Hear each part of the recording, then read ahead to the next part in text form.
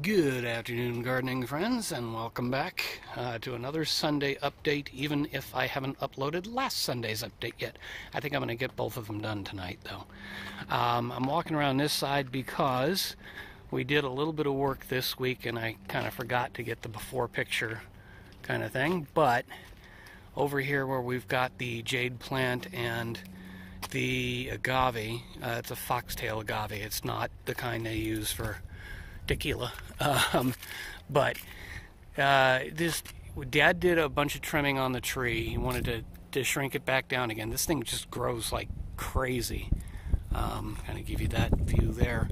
And so I say, or he started saying, well, uh, or actually there was a one of the agaves down here that was a little too big, and you see, you can see I got a couple of them just sitting there loosely, not even planted right now but there was one more right where the uh, where that one's laying down.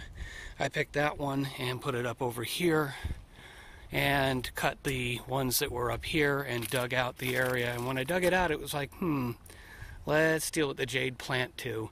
It's getting a little too big and it was sitting right next to the sprinkler head here.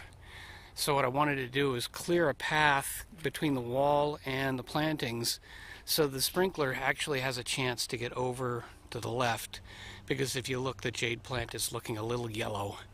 So I want to make sure that they got some water. So there was a bit of excavating and clearing and pulling roots up and clearing all of that and a couple of new ones and dug up some rocks while I was at it. Um, I mean the rocks happened to be there and well there's one piece of concrete.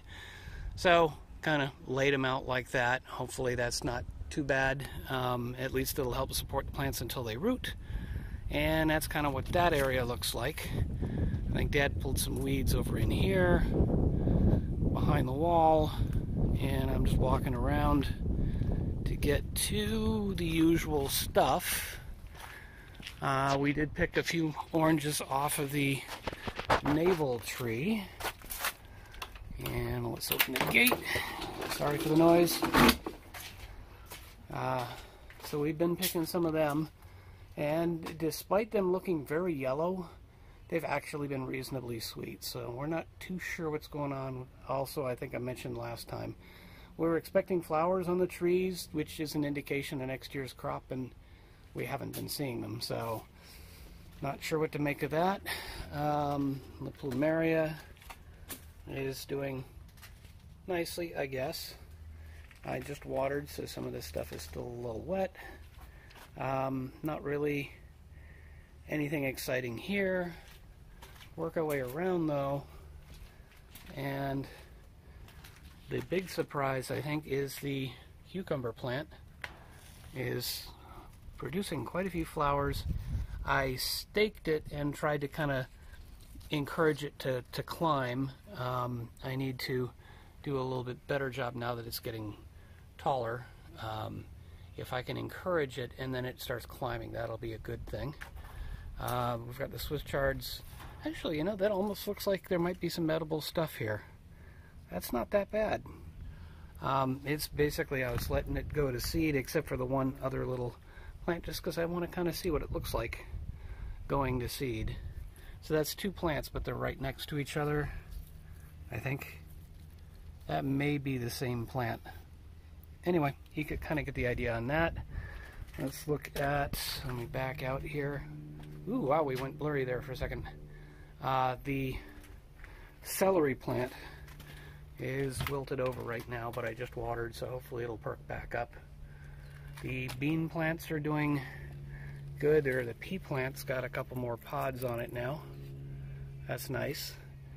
Uh, they're not really climbing all that well, even though I put a bunch of stakes in there but it does look like the bean plants are actually starting to climb and once again I got a couple of little red buds there. So I'm hoping that'll turn into flowers and then actually turn into beans because all I get is the buds they get a little bit bigger and then they just drop off. So I'm not sure what's going wrong there. That's that. And through the gate around the pool and I also put some fertilizer on the plants today, uh, just a standard sort of granulated uh, fertilizer that you mix in with the water and just give them a good drink of water. So We've got the cherry pick peppers, still very green. We got the Roma tomatoes. We've actually pulled a couple and enjoyed them. We've got the big tomato. I forget exactly what variety this is. Does it actually say? There's a tag down here. Atlas. There you go. So it's an Atlas tomato. Whoops, and then there was a sudden time jump. Uh, apparently the uh, video, the phone did heat up and uh, stopped recording. Uh, I don't know if I'd mentioned that the phone was heating up, but I do get a little message on my phone when it starts to overheat, and I just hadn't noticed that it stopped recording. Anyway, back to the show. Uh, so yeah, it's an Atlas tomato. They're doing quite nicely. Uh, I believe I've already kind of gone through this. Whoops, it's just that time of day. It's about 6 o'clock now, and I'm standing right in my own sunlight. Uh, we've got the nasturtium, which has done better. Uh, I think really what I've noticed is the more I pinch off, the faster it kind of grows back, and then it just starts to wilt again. So I just need to pick some off and make some salads and maybe harvest some seeds. I've got seeds here. That's pretty cool. That's what the seeds look like uh, before they dry out. I'll have to look and see if any of them are down below. We've got the giant Marconi, which is just doing ridiculously well. Um, although now it looks like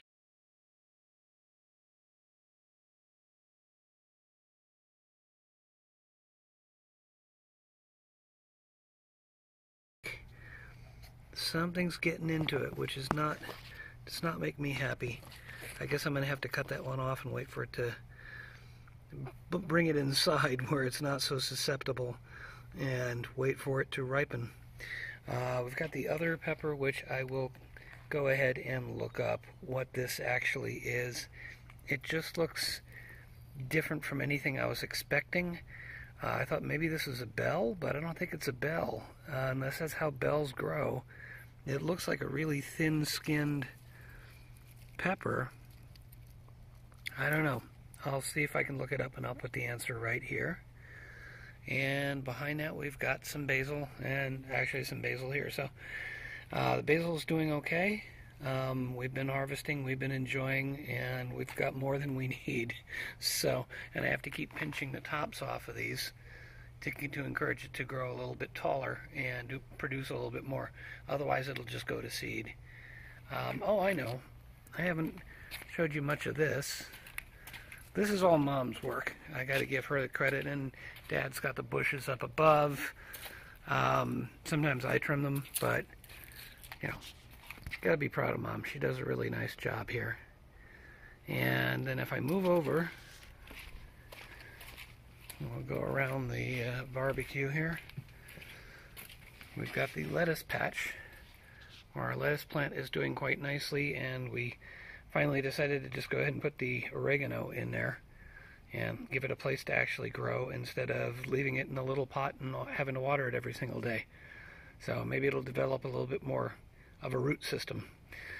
Anywho, that's pretty much what the garden looks like on this particular Sunday. This is the Budget Gardener signing off saying, stay safe, folks, and may your thumb be green.